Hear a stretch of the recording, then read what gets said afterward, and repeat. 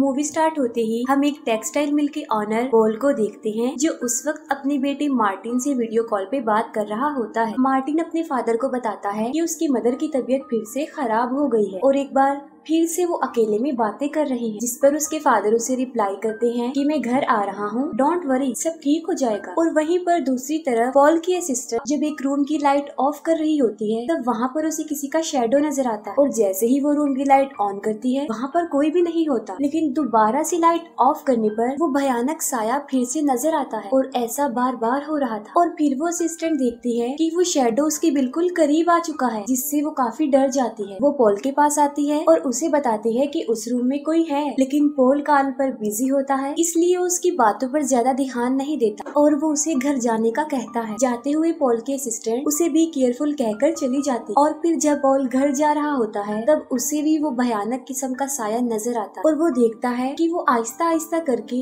उसकी करीब आ रही है। पॉल अपनी जान बचाकर वहाँ से भागता तो है, लेकिन वो उस पर अटैक कर देती है, जिससे पोल की टांग पर उसके पंजों के जहरे गहरे जख्म बन जाते और फिर वो पोल के बिल्कुल सामने आ जाती है। और फिर पोल को रियलाइज़ होता है कि वो सिर्फ़ अंधेरे में ही रह सकती है, क्योंकि ये सच था, वो लाइट में नहीं आ सकती थी। फिर पोल वहाँ से भागकर अपने ऑफ़िस में आता है और तब ऑफ़िस की सारी लाइट्स बंद हो जाती और तभी कोई ऑफ़िस का दरवाज़ा खोलने की कोशिश करता है, लेकिन जब दरवाज़ा खुलता है, तब वहाँ पर कोई नज़र नहीं आ रहा होता। और ठीक उसी वक्त पोल को कोई पीछे की तरफ़ से खींचकर ले जाता और उसको मार कर कोई नीचे फेंक देता। फिर काफ़ी टाइम गुजर जाने के बाद हमें मार्टिन दिखाया जाता है, जो सोने जा रहा होता है, लेकिन उसे कुछ आवाज़ें सुनाई देती और जब मार्टिन जाकर चेक करता है, तब वो देखता है की उसकी मदर अंधेरे में अकेले ही किसी से बातें कर रही है। मार्टिन की मदर सोफी जब मार्टिन को देखती है तो वो कहती है की हमने तुम्हें डरा दिया, जिस पर मार्टिन काफ़ी हैरान भी होता है और डर भी जाता है, क्योंकि वहाँ पर उसकी मदर के अलावा और कोई नहीं था। तो फिर उसकी मदर किसको कह रही थी कि हमने तुम्हें जगा दिया। मार्टिन फिर से अपने रूम में सोने जाता है और जब वो अपनी मदर को पीछे मुड़कर देखता है, तब उसे उसकी मदर के बिल्कुल साथ किसी के भयानक पंजे नज़र आते हैं। और मार्टिन फिर से काफ़ी डर जाता है और भागकर अपने रूम में आ जाता है। मार्टिन जब अपने रूम का दरवाज़ा बंद करके अपने बिस्तर पर आ जाता है, तब उसकी रूम का दरवाज़ा कोई खोलने की कोशिश करता है और तब डर की वजह से मार्टिन पूरी रात सो नहीं पाता। और नेक्स्ट मॉर्निंग मार्टिन स्कूल में ही सो रहा होता है। इसीलिए चाइल्ड वेलफेयर वाले पहले सोफी को कांटेक्ट करने की कोशिश करते। लेकिन सोफी कांटेक्ट ना होने की वजह से वो मार्टिन की सुतेली सिस्टर रेबिका को बुलाते हैं। रेबिका और मार्टिन की मदर एक ही थी।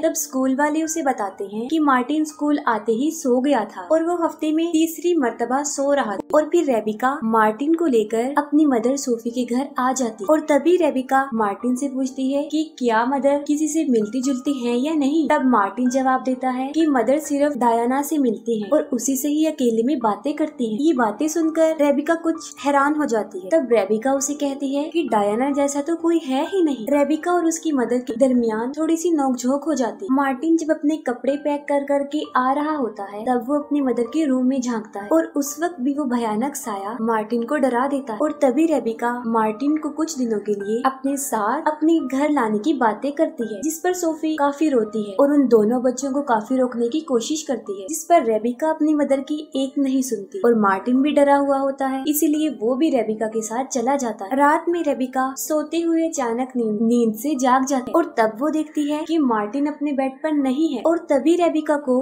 दरवाजे के पास ज़मीन स्क्रैच करने की आवाज़ें आती जिस पर रेबिका समझती है कि शायद वो स्क्रैच मार्टिन कर रहा है। और तभी से बाहर से आ रही हुई लाइट जो थोड़ी देर बाद ऑन हो रही थी, थोड़ी देर बाद ऑफ़ हो रही। और तब रेबिका को भी वो डिमोनिक शेडो नज़र आता है। लेकिन इससे पहले कि वो लाइट फिर से ऑफ़ होती, रेबिका जल्दी से भागकर लाइट ऑन कर देती है। रेबिका बाथरूम में जाती है और वो देखती है कि मार्टिन बाथ टब में सोया हुआ है। और सोते हुए भी उसने एक टॉर्च को ऑन करके अपने हाथों में पकड़ा हुआ है। नेक्स्ट मॉर्निंग चाइल्ड वेलफेयर वाली आती है और मार्टिन को अपने साथ लेकर चली जाती है, क्योंकि कानूनन सोफी मार्टिन की गार्डियन थी रेबिका नहीं। रेबिका की नज़र उस जगह पर पड़ती है, जहाँ पर वो शैतानी परछाई रात को स्क्रैच कर रही थी। वहाँ पर उसने अपना नाम लिखा था और एक पिक्चर भी बनाई थी।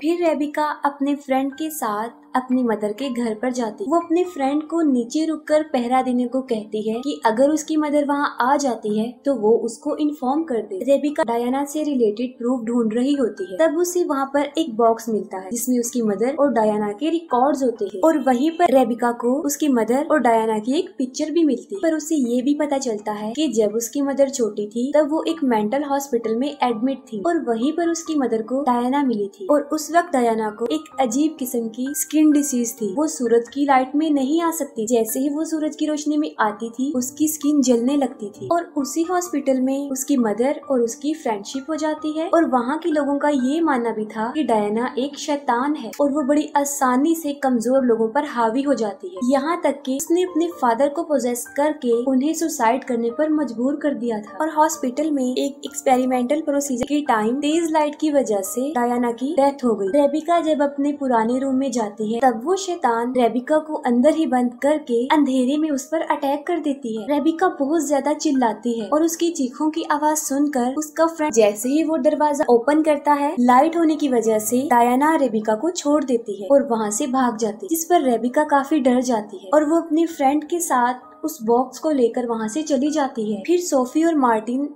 घर आ रहे होते हैं और सोफी उसे कहती है कि वो गुड टाइम उसके साथ स्पेंड करना चाहती इसलिए हम तीनों आज एक साथ बैठकर मूवी देखेंगे, जिससे मार्टिन डर जाता है और वो अपनी मदर को कहता है कि, मॉम, सिर्फ़ हम दोनों। और जब वो दोनों मूवी देख रहे होते हैं, तब सोफी घर की लाइट्स ऑफ़ कर देती है और फिर वहाँ डायना आती है, जिससे मार्टिन बुरी तरह डर जाता है। और सोफी उसे कहती है की, डायना मेरी दोस्त है। वो कहती है की, मैंने काफ़ी दिनों तक उसे अपने से दूर रखा। और अब वो हमारे साथ हमारे बीच में ही रहेगी। और तभी जब मार्टिन डायना को देखता है तो वो डर जाता है और लाइट ऑन करके वहाँ से भाग जाता है। और इसी दौरान डायना गुस्से की वजह से सोफी को भी मारती है और मार्टिन रेबिका के घर आती है। और तब रेबिका भी उसकी मदर और डायना की स्टोरी मार्टिन को बताती है और कहती है कि हमें अपनी मदर को इस शैतानी डायना से बचाना है और हमें मदर को मेडिसिन देनी होगी। क्योंकि जब मदर मेडिसिन नहीं लेती, तब वो मेंटली वीक हो जाती है, जिसकी वजह से आसानी से डायना उन पर हावी हो जाती है, जिस पर मार्टिन कहता है कि वो ऐसा कभी भी होने नहीं देगी, क्योंकि उसके फादर ने भी ऐसा करने की कोशिश की थी और डायना ने उन्हें मार डाला। और तभी डोरबेल बजती है और जब रेबिका देखने जाती है तो वहाँ कोई नहीं होता और फिर अंदर रूम से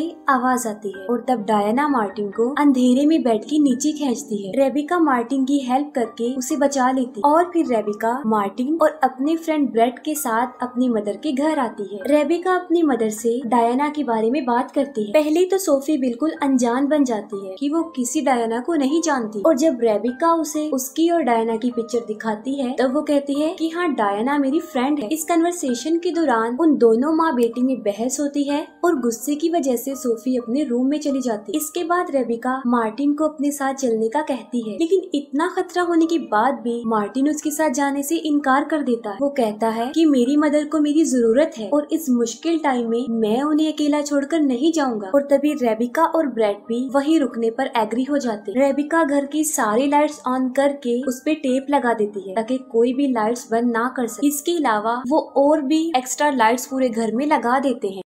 उसकी मदर काफ़ी परेशान नज़र आ रही होती है और वो चुपकी से रेबिका के हाथ में कागज़ का एक टुकड़ा पकड़ा देती और जब रेबिका उस कागज़ को ओपन करती है, तब उस पर सोफी ने लिखा था आई नीड हेल्प जिससे ये वाजिया हो जाता है कि सोफी मुसीबत में थी और वो डायना से छुप कर हेल्प मांग रही थी। रेबिका मार्टिन को बताती है कि वो कोई ना कोई सोल्यूशन निकाल कर अपनी मदर की हेल्प करे और उसके बाद सब ठीक हो जाएगा। रात में डायना पूरे घर का पावर कट कर देती और हर तरफ़ अंधेरा हो जाता। रेबिका की आँख खुलती है और वो अंधेरा देखकर काफ़ी डर जाती वो बेसमेंट में जाती है ताकि फ्यूज ऑन करके पावर वापस ला सके। और फिर मार्टिन भी जाग जाता है और वो अंधेरा देखकर और खुद को अकेला देखकर काफ़ी डर जाता है। वो कैंडल लाइट से रेबिका को ढूंढता है और फिर वहाँ डायना आती है। डायना मार्टिन को काफ़ी डरा देती है और उसे घसीट कर ले जा रही होती है। और जब मार्टिन कैंडल लाइट उसकी तरफ़ करता है तो वो उसे छोड़ देती है। मार्टिन भी बेसमेंट में फ्यूज बॉक्स के पास जाता है, जहाँ पर उसकी सिस्टर फ्यूज ठीक कर रही होती है। जब वो दोनों बेसमेंट में होती होते हैं, तब उन्हें इस बात का रियलाइज़ होता है कि कहीं उन्हें यहाँ भेजकर उनके लिए बचाया गया कोई ट्रैप तो नहीं है और फ़ौरन डायना बेसमेंट का दरवाज़ा बंद कर देती है। रेबिका और मार्टिन ज़ोर ज़ोर से दरवाज़ा बजाते हुए ब्रेड को हेल्प के लिए बुला रहे होते हैं और तब इनकी आवाज़ सुनकर ब्रेड वहाँ आता है। ब्रेड डोर ओपन करके उन्हें बाहर निकालने की कोशिश कर रहा होता है। तभी डायना उस पर अटैक कर देती जिससे उसके हाथ से वो टॉर्च काफ़ी दूर गिर जाती है और तब डायना उसे जान से मारने वाली होती है और तब वो मोबाइल की लाइट ऑन करके खुद को बचा लेता है, जिससे डायना एक बार फिर उस पर अटैक करके उसका मोबाइल ही तोड़ देती है और तब ब्रेड घर से बाहर भागता है और भागते हुए जब रास्ते में अंधेरा आता है तो डायना फिर से उस पर अटैक कर देती है और तब वो गाड़ी की लाइट ऑन करके अपनी जान बचाता है और वो कार लेकर वहाँ से चला जाता है। इन सब के दौरान सोफी की भी आँख खुल जाती है और वो फ़ौरन समझ जाती है कि डायना उसकी फ्रेंड नहीं है और वो उसके बच्चों को नुकसान पहुँचाने वाली है और फ़ौरन वहाँ डायना आती और सोफी उसे कहती है कि वो उसके बच्चों से दूर रहे। इस पर डायना सोफी को काफ़ी डराने की कोशिश करती है, लेकिन वो नहीं डरती। और वो डायना को कहती है कि तुम्हें मेरी ज़रूरत है और इसीलिए तुम मेरे बच्चों से दूर रहो। और सोफी जब अपने डिप्रेशन की मेडिसिन लेने लगती है, तब डायना उसे मारती है। तब उसका सर एक टेबल से टकरा जाता है और वो बेहोश हो जाती है। और यहाँ पर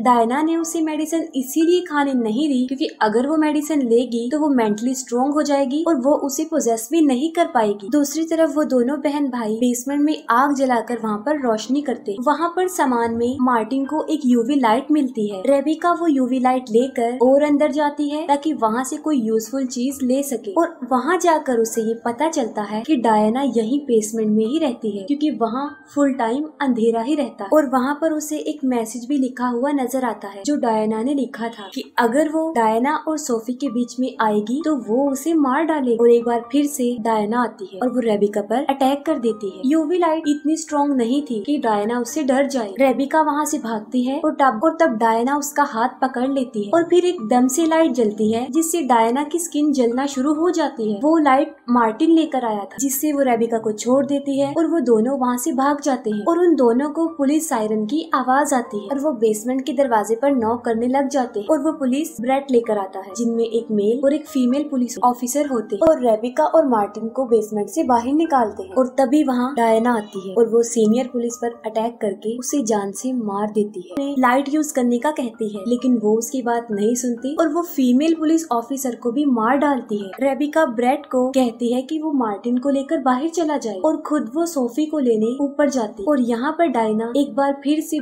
बुरी तरह रेबिका पर अटैक कर देती है और उसे उठाकर नीचे फेंक देती है। और साथ में वो ये भी कहती है कि वो उसके फादर की तरह उसे भी जान से मार डालेगी। लेकिन इससे पहले कि वो रेबिका को जान से मारती, सोफी वहाँ आ जाती है। सोफी डायना को कहती है कि मैंने तुम्हें कहा था कि मेरे बच्चों से दूर रहना। और वो डायना की तरफ़ गन करके उसे शूट करती है, जिस पर डायना उसे कहती है कि मुझे इस गन से कुछ होने वाला नहीं है, जिस पर सोफी खुद को ही शूट कर लेती क्योंकि डायना वहाँ सोफी की वजह से ही थी और जैसे ही सोफी मरती है डायना भी खत्म हो जाती है। और यहाँ पर सोफी ने अपने बच्चों की ज़िंदगी को बचाने के लिए अपनी ज़िंदगी को ही सेक्रीफाइस कर दिया और उसके बाद वहाँ पर और पुलिस ऑफिसर्स आ जाते हैं। और रेबिका ब्रेड और मार्टिन हमेशा एक दूसरे के साथ रहने का वादा करते और यहीं पर मूवी एंड हो जाती है।